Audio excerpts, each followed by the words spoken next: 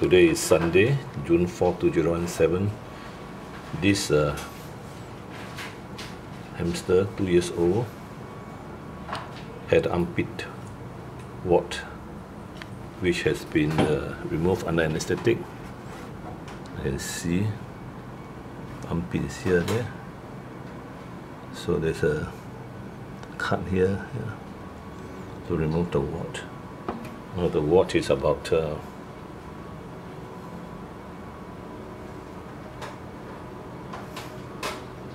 maybe 5 millimeter across. Normally these warts are caused by viruses, skin viruses. Yeah. And uh, it's easier to remove them when they're small. This fellow, this fellow needs to, to have a bit of uh, diet, slim down a bit. Okay, now the second hamster on the same day, today Sunday. This one came in after the, the other one it's around two years old with the right ear wart. It's on the ear tip. The wart has been removed under anesthesia again. You can see he has been scratching his eye eyelid as he tried to get rid of the wart. Now the wart has been removed and uh, you can see it's here. It's about uh, also 4 millimeter Right. So earwarts are quite common in hamsters when they're over one year old.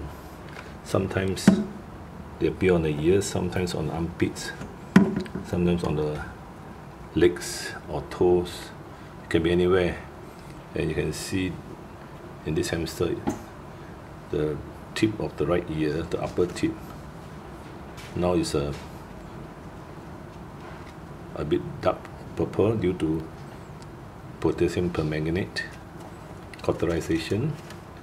And uh, in this case he rubs his right eyelid trying to get rid of the wart. But uh, he can't do it so you can see the redness and the hair loss on the upper eyelid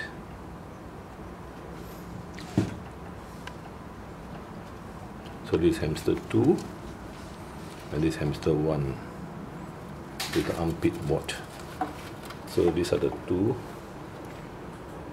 Hamster 2 hamster 1 quite a good size to excise if it become too big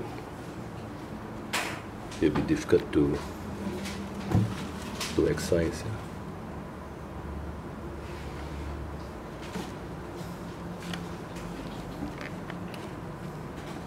So this is what happened on Sunday, June 3, 2017. Two hamsters with warts on the skin, about two years old.